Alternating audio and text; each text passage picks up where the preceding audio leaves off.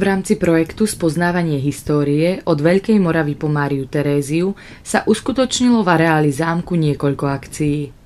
Prvou bola beseda s bylinkárkou. Následne sa uskutočnilo viacero prednášok.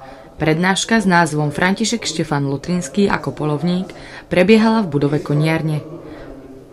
64 Ferdinand Hasburský prvý sa stáva prvým panovníkom ktorý systematicky viacerými úpravami a nariadeniami zabezpečuje ochranu lesa pri ničení. Ďalšia prednáška o lesnej pedagogike bola v Zámockom pravom vale. Deti majú možnosť rozpoznávať zvieratá, ktoré žijú v lese, hádať, kde tie zvieratá žijú, na ktorom mieste, čím sa živia. Majú tu aj hádanky drevené, dielničky tvorivé, kde v podstate zo všetkých prírodných materiálov skladajú od postavičiek cez zvieratka vyfarbujú masky na tvár.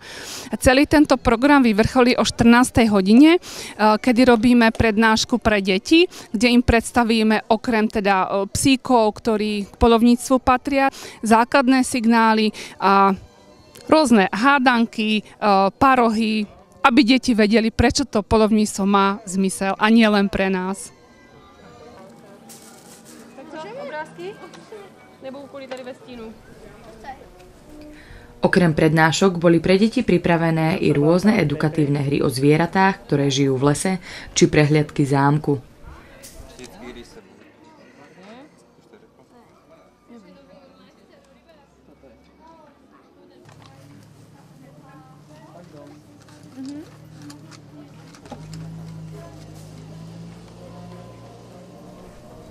Tieto aktivity boli financované z verejných zdrojov Fondu na podporu umenia.